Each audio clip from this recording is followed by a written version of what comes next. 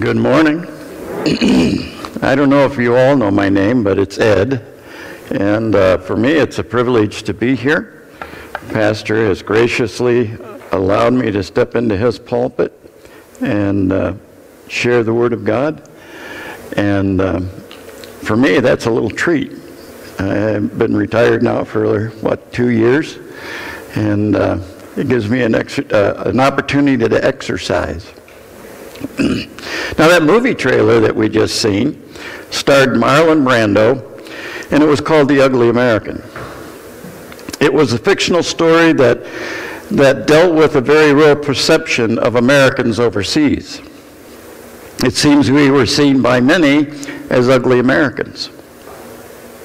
As I researched for this sermon, I discovered that all over the world, people have viewed American tourists and business people as being loud and arrogant, demanding and thoughtless, ignorant and intolerant of people who weren't like them. Now, is that true? Have we actually been ugly Americans? As much as I hate to say it, the answer is yes. We have. Too many Americans who've, who've traveled and lived abroad have behaved badly. So badly that the rest of our nation has been smeared by association. And it's easy to understand why these ugly Americans get ugly. They come from one of the most powerful nations on earth, so they think they're privileged or special or something. They think they're part of a country that has gotten it right militarily, industrially, and culturally. In short, they see themselves as the best people on this planet. They've got it all together and everybody else comes in second. So they feel they deserve to act like ugly Americans. In our passage this morning, God wants, warns us against being an ugly American kind of Christian. Someone who's arrogant and demanding, thoughtless and intolerant. And yeah, I have to include myself into that category.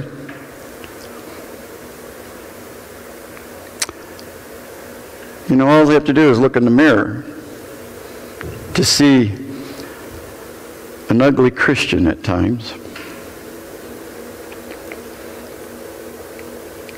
I've been an ugly Christian more times than I care to admit. There's a Dr. Rubel Shelly uh, an author, minister, and a professor at Rochester College in Rochester, Rochester Hills, Michigan. And he told of an incident surrounding the death of a man named Christopher Hitchens. This man had been a militant atheist, and he died of cancer in 2011. Now, you might have referred to him as an ugly atheist. He hated Christianity. And he would often use demeaning and abusive language with believers. This man engaged a, a number of Christian defenders, a, a no, number of apologists in debate, and in 2007 he even wrote a book called God is Not Great. And it became a bestseller. To me, that's sad. But that's not the point of the story. You see, Hitchens developed throat cancer. And Shelly said that he followed some of the online comments made by churchgoers concerning his cancer. And, and these included a, range, a wide range of responses. You know, several exp- expressed concern. Some offered hope for his recovery. And some were even praying for him. But then there were also comments like, how fitting, losing the throat that he used to blaspheme. Or this one, this foul reprobate in the end, knowing he shall die, will beg for forgiveness. And I can't wait until the last little breath in his miserable body starts to fade, and then he will know if there's a God or not. And according to Shelly, others were even worse. Those are the mild ones. Sometimes Christians can get ugly. They think they're doing God favors, but they're not. After he tells Christians how they should behave in this world, Peter tells us that we should behave in such a way that in all things God may be praised through Jesus Christ. In fact, if, if we Christians are being petty, neither God nor Christian will receive any praise. It'll be voided out.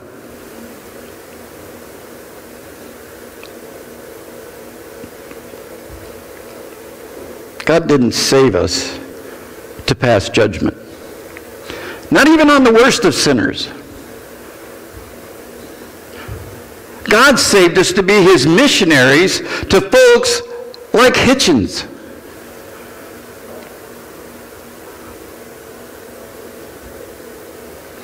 And yes, it's true. Christopher Hitchens was a miserable, hate filled guy who made the choice to reject God and despise believers. In reality, he must have been pretty much the same to a lot of other people as well. People who, like him, were not believers. But in the end, things weren't turning out very well for him, were they? And you know what? That shouldn't make us happy.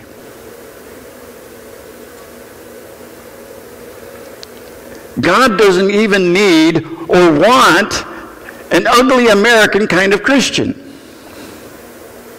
But he does tell us what he does want. He tells us to be alert and sober of mind so that we can pray. He wants us to love each other deeply because love covers a multitude of sins. He wants us to offer hospitality to one another without grumbling and to use whatever gift we've received to serve others. When we speak, we should do so as one speaking the very words of God. And when we serve, we should do it with the strength God provides. In other words, God wants us to be good boys and girls.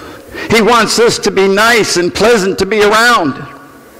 And in order for us to be those kinds of nice people, God wants us to focus on the right things. So, what does He want us to focus on? First, God wants us to be alert and sober and of sober mind.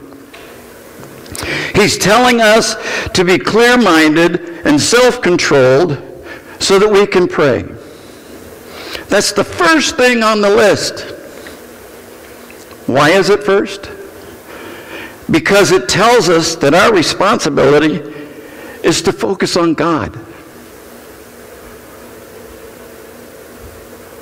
Number one is to focus on God because it tells us that's our command.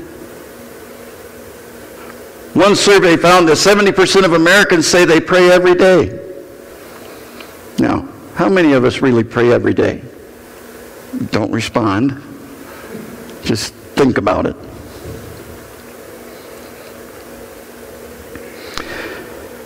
So 70% of Americans say they pray every day. But a scholar named Albert Mohler read a study, read that study, and here's his observation. Quote, the impression left by the total package is of a nation that increasingly embraces soft and self-centered forms of spirituality, even as it rejects more demanding forms of belief. They see spirituality as a means of self-development, They want to get in touch with the universe and with their inner selves, but are not particularly concerned to know what the Creator would demand of them, unquote. In other words, these folks pray to have God do God to do things for them, not the other way around. Peter writes, Be clear minded.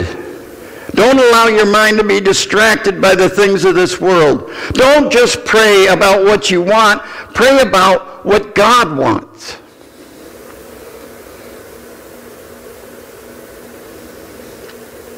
Then he writes, Be self controlled. Bend your will to God's will. Clear your mind and, and, and bend your will so that you'll pray as you should. If you do these two things, you'll be able to pray in the right way.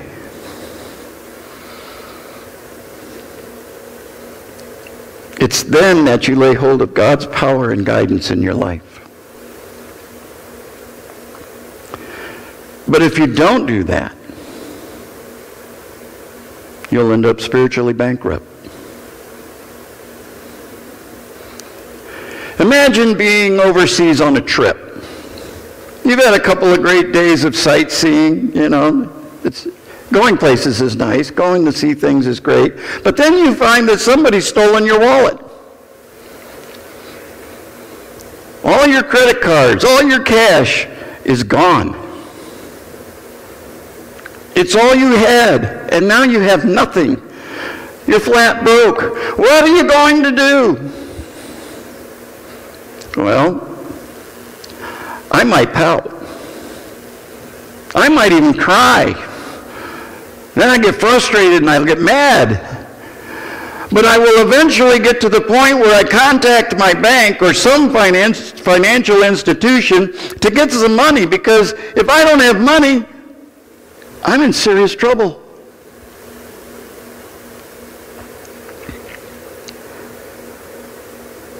I have to do what I can to make contact with someone who will help me. That's what prayer is all about.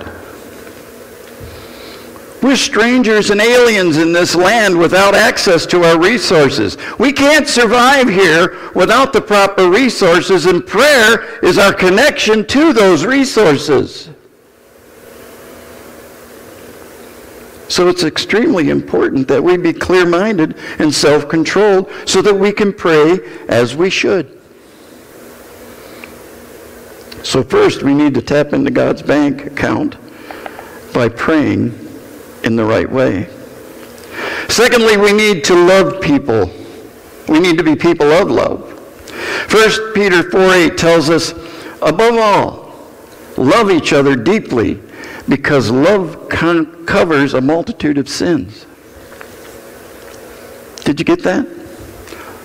Love covers a multitude of sins. Why would love need to cover a multitude of sins? Are we sinful? Sometimes. It's because Christians aren't always the easiest people to live with. We've all sinned and fallen short of the glory of God. So sometimes we're hard to get along with. Just ask my wife.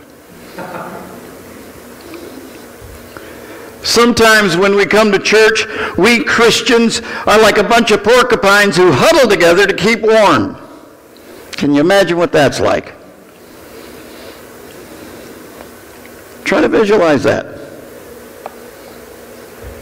Would you like to hug a, hug a porcupine today?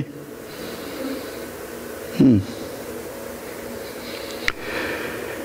They say the world is round, and yet I often think it's square. So many little hurts we get from corners here and there. But there's one truth in life I've found while journeying east and west that only folks we really wound are those we love the best. We flatter those we scarcely know. We please the fleeting guest and deal a many thoughtless blows to those we love the best. Now, that poem isn't specifically dealing with the church, but the lesson from it seems to describe how many churches work. People tend to be the most thoughtless to those who are closest to them. Likewise, Christians tend to learn to treat others in their lives by the way they treat who is closest to them, even on Sunday morning. We Christians learn by doing and by loving, but it's, it's what we practice with each other that makes the difference. It's what we practice that's going to come out of us. And loving isn't just an emotion. One man put a twist on the words of Jesus that are found in Luke 7:47, and he, he read them like this. How much, or he who loves much, does much. He who loves much, does much. The guy who doesn't do anything for others can talk about love all day long. But if he's all talk, he's just kidding himself. God's not deceived, and neither are others. In John, 1 John 3 17, God tells us if anyone has material possessions and sees his brother in need, but he has no pity on him, how can the love of God be in him? Dear children, let us not love with words or tongue, but with actions and in truth. Shouldn't we be doing something?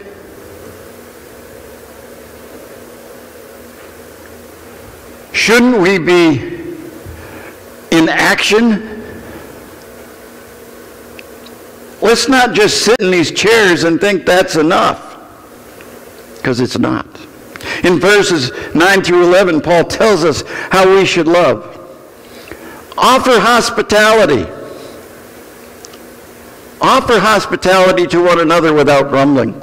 Each one of us should use whatever gift he has received to serve others, faithfully administering God's grace in its various forms. If anyone speaks, he should do it as one speaking the very words of God. Have you ever thought about that? How often during the, the work week do you think that my voice, what I say, is speaking the very words of God? Puts a little different twist on what we're going to say, doesn't it? If anyone serves, he should do it with the strength that God provides. Because in our own strength, we're going to fail. You see, Peter's telling us to find ways to serve each other, to speak encouraging words to each other, and to show hospitality. Church can be a great place to learn about God. It's kind of like a, a miniature Bible college. You know, we have all these different uh, classes about the Bible, and we, we take different books and we learn uh, what this particular author has to say about God and the Bible and of Jesus Christ, or maybe the way we should be living and acting. But Jesus meant the church to be a lot more than just that. The church is to be a laboratory, or laboratory, some people call it a laboratory. But the church is to be a laboratory. Christians train each other in ministry. And they train each other how to do love. How to do love. That's what Hebrews 10 talks about, where it says, Let us consider how we may spur one another on toward love and good deeds. Let us not give up meeting together as some are in the habit of doing, but let us encourage one another, and all the more as you see the day approaching. This church, the church, should be a training ground for all of us.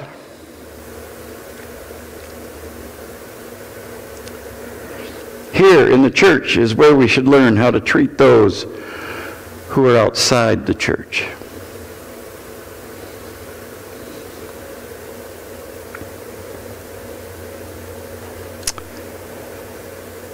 Here is where we learn to serve each other inside the church. Here is where we learn to serve others outside the church. Let me share a little story with you. A group of preachers were studying together. And one of them said he had a he was puzzled by something and he said, "What's this about? The end of all things is near, therefore." That's 1 Peter 4 7. Peter just launches into a laundry list of, of how we should show love. And the response he received was a well used cliche. One of those preachers said, Whenever you see a therefore in the Bible, you need to find out what the therefore is there for. And that is so true. So the question is, why would Peter tell us the end of all things is near? It's been almost 2,000 years since he walked the earth.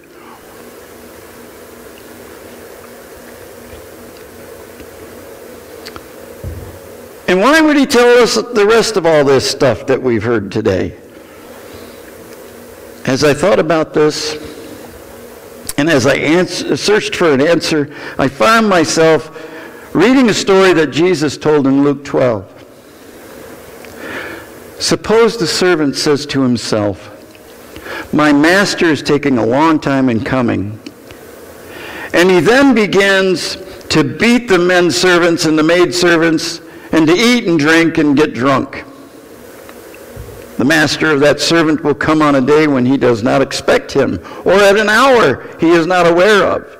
He will cut him to pieces and assign him to a place with unbelievers.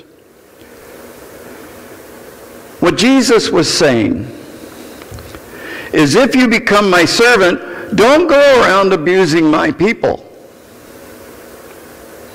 Your Christian brothers and sisters belong to me, and I'll take it personally if you treat, mistreat them. The end of all things is near, and I'm coming back.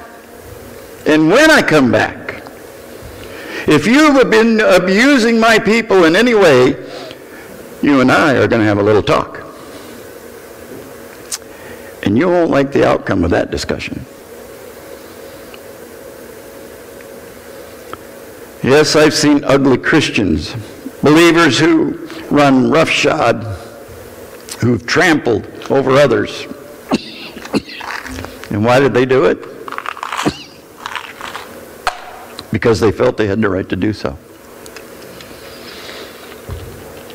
They thought they were holier than thou, higher than them, more knowledgeable, better theology.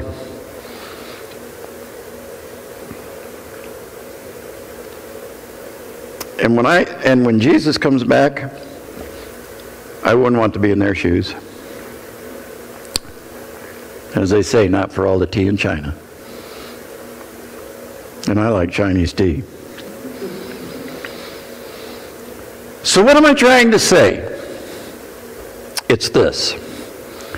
If you decide to get mad at someone, one of your brothers or sisters in Christ, be very careful how you treat them. I'm just saying. The end of all things is at hand. And you don't want to get caught in the middle of a feud when Jesus comes back. The Corinthian church had a problem like that. They were always at each other's throats. They argued about who was the most important, about who had the best gifts. They argued about legal matters, spiritual matters, and marital matters. They argued constantly about everything. And this argumentative and uncaring attitude carried over into their worship. Apparently, they tried to mimic the Passover feast. You know, the one that Jesus had on the night he was betrayed. They had a meal first and, and then took communion. Their meal consisted of a potluck dinner. Who likes potluck dinners? I know the pastor likes potluck dinners. And I do too. It was one of my favorite things when I was pastoring, especially when it come to red velvet cake. I think he has a, a, a favorite too. But so they go to this potluck dinner. But their potluck dinner was a little bit different than our potluck dinners. When you went to their potlucks, if you didn't have a pot, you were out of luck. And that's the way it was. Some folks would show up with meat and potatoes, and others would ri- arrive with pea soup, and they ate what they brought. No one shared with anyone else. They refused to show love to each other in their fellowship. And then they'd take communion together? What's up with that? So Paul tells them, You've sinned against each other, and there have been consequences. He says, Don't you have homes to eat and drink in? Or you do you despise the church of God and humiliate those who have nothing? A man ought to examine himself before he eats the bread and drinks the cup, for anyone who eats and drinks without recognizing the body of the Lord eats and drinks judgment on himself. That's why so many among you are weak and sick, and a number of you have fallen asleep. Their lack of love for each other led to physical sickness and actual death. I think God was being very clear it's as though he's, he's saying to us, I'm not messing around here. Love one another. And when I say love one another, I mean it. So this is serious business. This love one another thing is crucial to our identity and to our existence.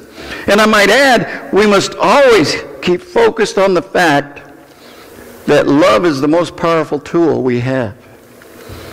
Because what is God but love?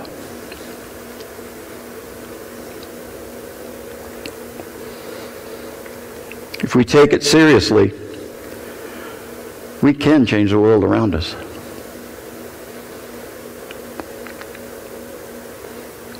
Rochester, New York had, and maybe it still does, but once upon a time, it had the unique reputation. Um, back in 1940, Rochester was the first city named the friendliest city in America. And they won the, the contest again in 1994. And as recently as 2010, Forbes.com rated 100 of the U.S. largest cities and found Rochester, New York to be one of the friendliest and one of the best places to raise a family.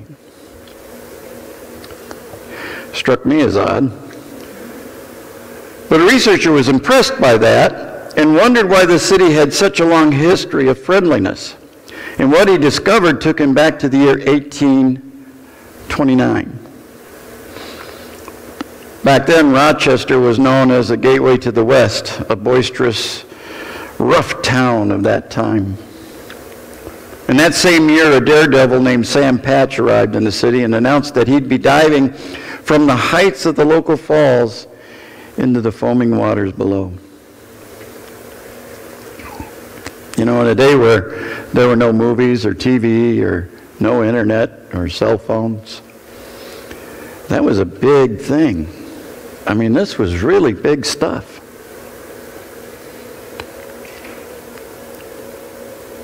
Well, the day arrived, and thousands of locals assembled to watch this man defy death. But he didn't defy death. He dove from the cliffs as advertised, but apparently he lost his balance in the process, and with his arms twirling madly, he struck the churning waters below. Minutes passed, and he didn't resurface. And the audience waited in silence as they watched for him to come up out of the water on the shores below, but he never appeared. In time, the crowd began to break up and the people went home in shock. The man's body was found, discovered in the ice the following spring. But on that Sunday morning, two days after Patch's fatal jump, a prominent businessman named Josiah Bissell went to the front of his church and he declared that all who by their presence encouraged that soul to leap into eternity would be held accountable on the judgment day. Grief swept through that church, and people openly wept. But Bissell wasn't finished. Being a wealthy man, he sent for Charles Finney, a prominent evangelist of that day. He promised to pay Finney's expenses for six months if he'd come to Rochester and change the heart of that city. Finney met with and confronted various groups within the, within the uh, city, and uh, he convicted them of their need of Jesus and his forgiveness. He stressed the importance of reaching out to others for the sake of God's love for them. And the result was an entirely convicted community and a city determined to dedicate itself to good deeds and charity. And I believe that decision still influences the generations that have followed in that city. Among the outcomes of that day of conviction came the following the city experienced a boom in churches being built. They set up a public school system in 1813. They established a university in 1850. Numerous charities sprung up.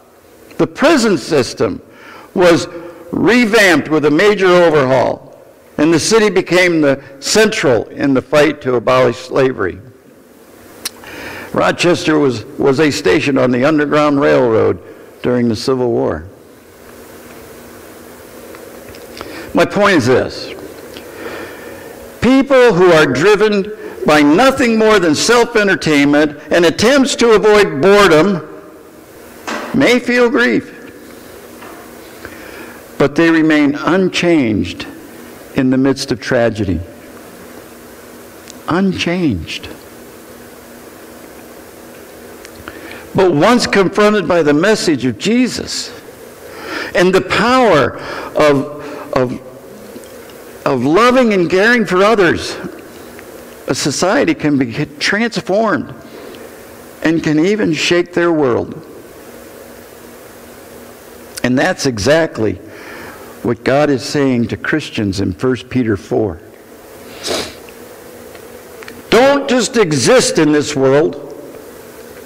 Be transformed by the power of Christ and make a difference by the Savior you love. Would you stand with me?